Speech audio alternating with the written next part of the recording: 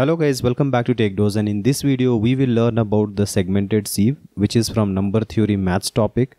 A prerequisite before watching this video is to watch my video on how to find all the factors of a given number n and the sieve of Eratosthenes. Both these links will be given in the i button and also in the description below so you just go and watch them. If you already know these two things uh, then we can proceed and at the end of the video I will be showing you the exact code implementation of the segmented sieve so stay tuned till the end. Uh, now let's understand the problem statement. In this problem uh, we are given to find the prime number in the range of L to R where L is less than R. Now if you follow the sieve of Eratosthenes method then you need to make a boolean array of size R plus 1 which is from 0 to R and therefore the space complexity will be order of R. You know that the time complexity will be order of R log log R right and uh, you can take an example like finding the primes from 100 to 200 you need a space of 200 one size boolean array from 0 to 200 right? So this was sieve of eratosthenes. Now let's consider two cases and uh, let's try to see what will be the space required by the sieve of eratosthenes method. Now in case number 1 we have l value equals to 10 to the power 6 and the r value is 10 to the power 6 plus 10 to the power 6 now the space required by the sieve of Eratosthenes will be 2 into 10 to the power of 6, right, which is order of R. Now if you take a boolean element to be 1 byte, then the total space required will be 2 times 10 to the power 6 bytes, which will be equals to 2 MB, right? Now if you look at the second case, where I have taken a higher L and R values, so L value is 10 to the power of 12 and the R value is 10 to the power of 12 plus 10 to the power of 6 now if you see the difference R minus L in both the case 1 and case 2 the difference is same. Okay the gap between R and L is the same but then the value of L and R has been shifted from 10 to the power 6 to 10 to the power of 12 right. So in this case if you follow the sieve of Eratosthenes then the space complexity will be order of the higher number that is order of R which is approximately 10 to the power of 12 because 10 to the power 6 is very very insignificant in comparison to 10 to the power 12 so we can ignore that. And uh, so the actual space the runtime space which it will take is considering each item uh, being 1 byte that is boolean uh, therefore it will be 1 terabyte okay? So in this case if we are solving for this range of LNR 10 to the power 12 range uh, then we cannot use sieve of Eratosthenes because definitely we do not have 1 TB of memory right therefore in such kind of situations uh, we need another technique which is very very space efficient and that technique is segmented sieve okay? So segmented sieve is useful when the range is small uh, but the numbers can be very high like as you can see in case 2 the range is exactly the same. If you find out r minus l it will be 10 to the power of 6 and in the first case as well it is 10 to the power of 6 but then the numbers are high when uh, you see case 2 right? So in case 2 segmented sieve is more suitable. So before starting segmented sieve you should know about the primality test that if n doesn't have any factor from 2 to root n then n is a prime number. As i had already shown in my previous video finding all factors of a number n factors always exist in pairs right? So where if a comma b are factors of n uh, then we can say that a is less than equals to square root of n. If that is the case then b will be greater than equals to square root of n right? If i consider a will be less than equals to b such that a into b will always be equals to n okay? You can check this out in my previous video. I would like to announce about our live training programs, data structures and algorithms, which is interview dose, and system design, which is design dose. If you are looking for making a switch from service to product based or even make a product based to product based top tier switch and aiming for your dream company, this is the best curriculum you can ever join. I'll be your mentor throughout the cohort and I will help you clear all your doubts in the one on one sessions. You can know more about this by querying us on the WhatsApp number or you can also visit our website techdose.co.in. Let's look at the segmented sieve. Now before explaining any reasoning I will just flow through the step. Segmented sieve consists of four steps. You should look at the steps and at the end you will get the entire idea with reasoning about why certain step was done. Now let's look at step number one which says find all the primes till square root of r. in this case we have taken L value equals to 18 and R value 26. So square root of R will be equals to square root of 26 which is 5. Okay. Using the sieve of Eratosthenes we will initialize a boolean array is prime of size square root of R plus 1. In this case all the values will be true by default saying that all the numbers are prime initially.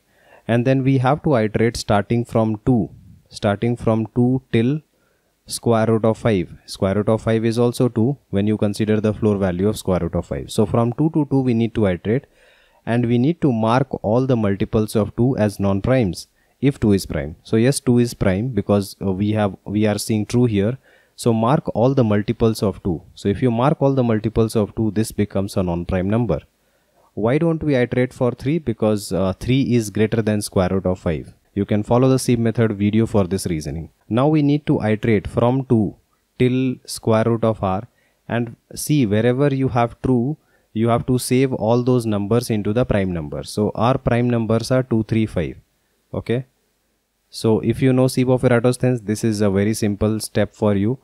The space complexity in this case is order of square root of r which was used by is prime and the time complexity is square root of r log log square root of r. Okay.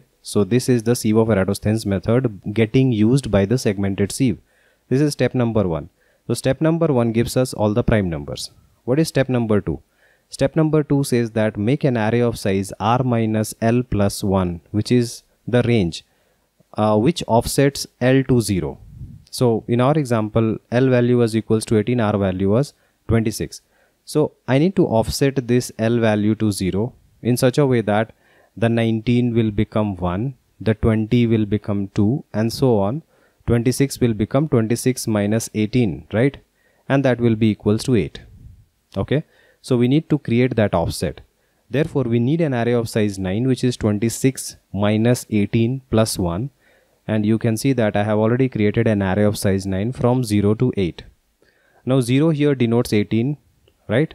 Because if you are moving a number line from 18 to 26 eh, you are offsetting it in such a way that it starts with 0 then the range i mean the length of the range will be the same right?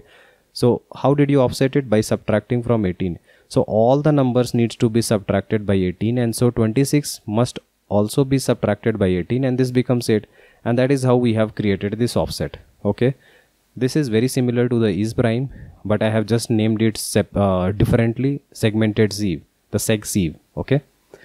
I have also written the actual numbers which it denotes okay so that you can better understand all these things. So if you consider this to be similar to the is prime then the true here denotes that it is a prime number. So just like in the sieve of Eratosthenes in this case as well I will mark default values as true assuming all of the numbers are prime in the given range. Now we will move to step number 3 in step number 3, what we do is we will see all the prime numbers from 1 to square root of r. We have already saved all the prime numbers from 1 to square root of r, right? And we will iterate through all of these primes one by one and we will mark all the multiples of that prime in the segmented sieve. Okay? Now, why do we do that? Because if we take a prime number r which is 26 then according to our primality test, if there is no factor of r from 2 to square root of r, then r will be a prime number. Okay, simply.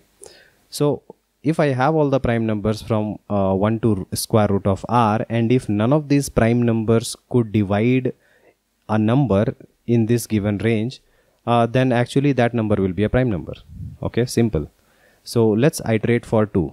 Now what will be the iteration step for 2? I can simply say that okay 2 will go to 18, 20, 22 mark all the multiples of 2 as true. But in the code how you can find it is uh, choose the L value. L value is equals to 18 right. So in order to find the first multiple you have to divide it by 2. Let's say that uh, this is the divisor which is the prime number p okay. So p is the prime number so if you divide L by p you will get the uh, dividend by which you need to multiply isn't it so 18 by 2 will be equals to 9. So from 9 uh, you can start multiplying. So 9 times of 2 is 18 and you can mark it as false. Then you can do plus 1 at every stage and so the multiple now becomes 10. so 10 times of 2 is 20 and so you can mark it as false. Next time it will be 11. 11 times of 2 is 22. You can mark it as false. And similarly you can keep marking it false until you actually exceed the R value. Okay. This is how uh, we will be implementing in the code. Now when all the multiples of 2 have been done, take the next prime number. Okay. So for 3, again you can calculate like uh, 18 by 3 when you do 18 by 3 you have to always take the ceil value okay always take the ceil value if you take the floor value then maybe you will get a segmentation fault how you can get it let's take an example of uh, l value equals to 17 and if you had divided it by 2 you will get a multiple of 8 and if you multiply 8 by 2 you will get 16 and 16 minus l which is 17 you will have index minus 1 and this index will be out of bound and hence you will get segmentation fault. In order to avoid segmentation fault, you should take a ceil value. Okay. Now for 3 again, uh, you can start marking 18 is already marked, 21 is not marked, 24 is marked and now you will go out of bounds. Same thing you do for 5, 20 is marked, uh, 25 was not marked so you mark it. Now you are done marking all the numbers in the range and whichever are still true will be the prime numbers. So step number 4 says that you just iterate through this entire list and find out what all numbers are true. Okay. If you find true at 1 then you add the offset L value which is 18 and you will get it as 19 right. So the prime numbers in the range of 18 to 26 is 19 then you have 23. So I think there are only two prime numbers. So this is the entire segmented sieve process. I hope you are able to understand this. Uh, now the time complexity in this case is in step 1 we had used the sieve of Eratosthenes which was square root of r log log square root of r and in step number 2 we were finding all the prime numbers. According to the Gaussian estimation the chance of a given number n being prime is 1 by log n okay and uh, therefore the prime still n will be n by log n therefore the number of primes still square root of r will be square root of r log of square root of r so this will be square root of r and multiply that by the given range which was the size of the segmented sieve. So this will be the time complexity. Okay, why this is multiplied? Because we were iterating for each of the prime numbers being found from 1 to square root of r. These are the count of those prime numbers and uh, we will just be iterating over the given range from L to R, right? So that's why this range is getting multiplied. Now the space complexity will be square root of R for the sieve of Eratosthenes okay sieve of Eratosthenes and r minus l for the segmented sieve so this is the uh, total space complexity now looking at our case number 2 and let's analyze how much space it will take by the segmented sieve the l value being 10 to the power of 12 r value being 10 to the power 12 plus 10 to the power 6 now the space complexity will be square root of r plus r minus l square root of r because of the sieve of Eratosthenes finding all primes from 1 to square root of r. So that is 10 to the power of 6 because square root of this 10 to the power 12 plus 10 to the power 6 is equivalent to 10 to the power of 6 if we ignore this because this is a very small value right? Now if you add this up it will be 2 into 10 to the power 6 and if we consider each boolean to be 1 byte then this makes it 2 MB as compared to the sieve of Eratosthenes which was taking 2 TB memory it is a huge difference right it is a huge optimization in terms of space therefore segmented sieve is extremely useful here I hope you understood the use case of segmented sieve, right? Now finally we will look at the code of the segmented sieve. In this case LL means the long long variable because your normal 32 bit integer cannot represent 10 to the power 12. So I have taken long long which can go till 10 to the power of 18 64 bytes. So vector is a list dynamic list. So vector long long segmented sieve long long L long long R. In this case I have created the primes array and I am not writing the code for sieve of Eratosthenes which I had shown you in the previous video. This is step number 1 find all the primes in the range of 1 to square root of r. Step 1 using sieve of Eratosthenes. Once you get all the primes in the primes array the second step is to create segmented sieve list right? Uh, by the way you can create it just like a boolean list right? The second one uh, can be a boolean instead of a long long.